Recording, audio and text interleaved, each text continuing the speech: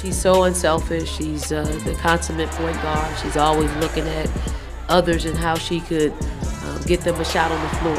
Um, but so I'm, I'm, super happy for her. I think the sky's the limit. I see out. You know, I think she'll put up, you know, probably a lot more points this particular season um, because she's shooting the ball well and she's shooting great shots. She's probably the person to be the example for our, our younger point guards.